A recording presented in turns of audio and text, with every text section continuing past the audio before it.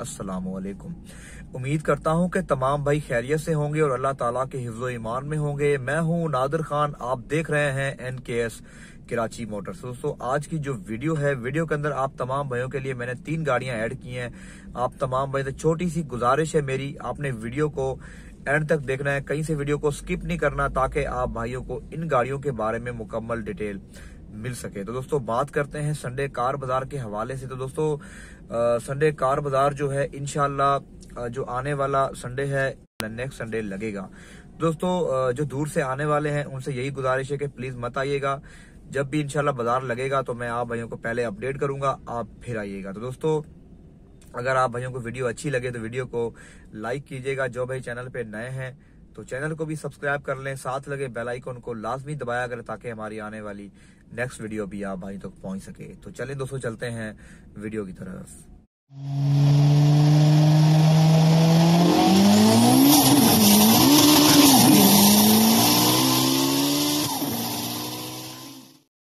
जी तो दोस्तों, आज जो हमारे पास फ़र्स्ट में गाड़ी है, वो है टोटा करोला दोस्तों टोयोटा करोला का जो फ्रंट लुक है, वो आप देख सकते हैं। टोटल डिटेल आप वहीं को इनशाला मैं इस वीडियो के अंदर बताऊँगा। तो दोस्तों, गाड़ी का जो फ्रंट लुक है, वो आप देख सकते हैं। गाड़ी की लाइट्स वगैरह बिल्कुल ठीक है। ग्रिल वगैरह जो फ्रंट की है, वो बिल्कुल ठीक है। नंबर प्लेट गाड़ी में ओरिजिनल लगी हुई है और बम्परों में फोक लाइट्स भी गाड़ी के अंदर लगी हुई हैं। दोस्तों बैक से भी आप गाड़ी को देख सकते हैं। बैक की जो गाड़ी की लाइट्स हैं, वो बिल्कुल ठीक हैं।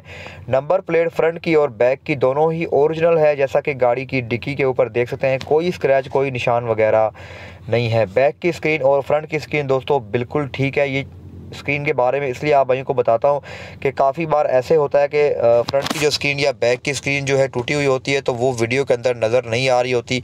दोस्तों आप भाइयों को इस गाड़ी के बारे में मैं डिटेल वगैरह बता देता हूँ। साइड लुक भी गाड़ी का दोस्तों आप देख सकते हैं। बिल्कुल साफ़ कंडीशन में गाड़ी है। टोयोटा करोला एसी सालोन 2003 का ये मॉडल है। चार की गाड़ी में रजिस्ट्रेशन है। ऑटो गेयर ट्रांसमिशन में ये गाड़ी है। गाड़ी के अंदर टायर वगैरह बिल्कुल ठीक हैं। अपने ओरिजिनल इंजन पर है। इंजन वगैरह चेंज नहीं है। दोस्तों सस्पेंशन गाड़ी का बिल्कुल ओके है। अलायरम गाड़ी के अंदर इंस्टॉल किए गए हैं। जैसा कि गाड़ी का साइड लुक आप देख सकते हैं, अलायरम गाड़ी के अंदर अच्छे डले हुए हैं और अपने ओरिजिनल इंजन पर है। इंजन वगैरह गाड़ी का चेंज नहीं है। तो दोस्तों मैं आप भाइयों को बताता चलूँ गाड़ी के जो सी सी गाड़ी बिल्कुल क्लियर है और गाड़ी के जो पेपर हैं वो फ़ाइल और इनवाइस गाड़ी की जो है वो डुप्लीकेट टोटा से इशू करवाई गई है।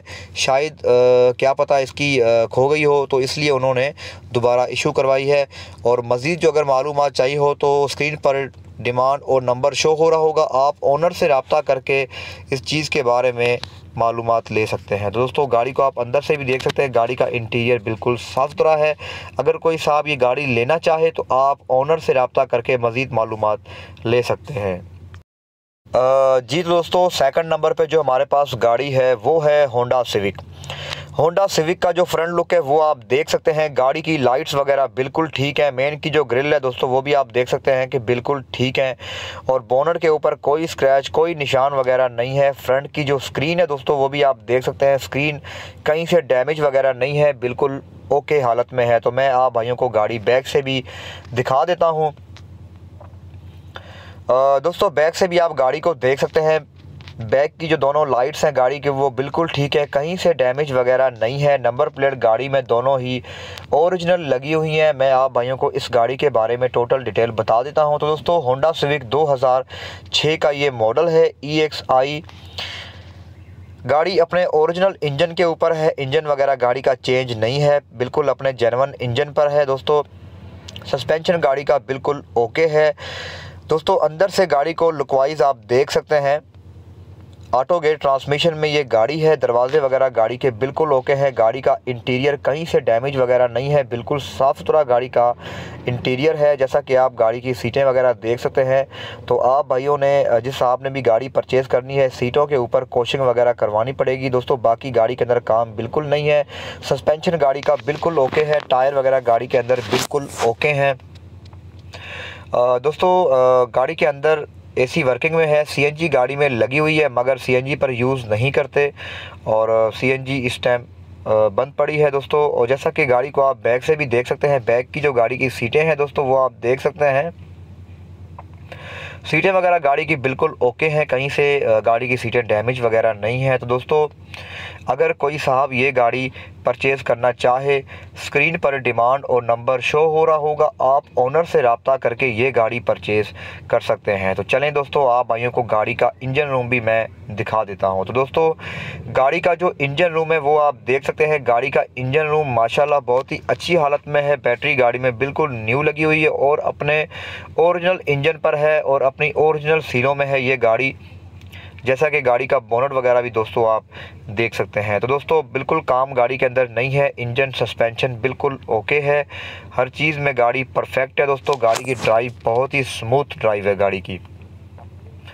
जी तो गाइज़ अगर कोई साहब ये गाड़ी परचेज़ करना चाहे तो आप भाइयों को स्क्रीन पर डिमांड और नंबर शो हो रही होगी। आप ओनर से रबता करके ये गाड़ी परचेज़ कर सकते हैं।